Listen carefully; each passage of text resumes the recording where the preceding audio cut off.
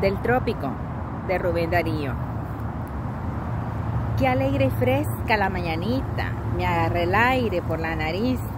Los perros ladran, un chico grita y una muchacha gorda y bonita junto a una piedra muele maíz.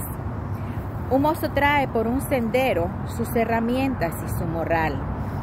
Otro con caites y sin sombrero busca una vaca con su ternero para ordeñarla junto al corral sonriendo a veces a la muchacha que de la piedra pasa al fogón, un sabanero de buena facha, casi en cuclillas afila el hacha sobre la orilla del mollejón. Por las colinas la luz se pierde, bajo el cielo claro y sin fin.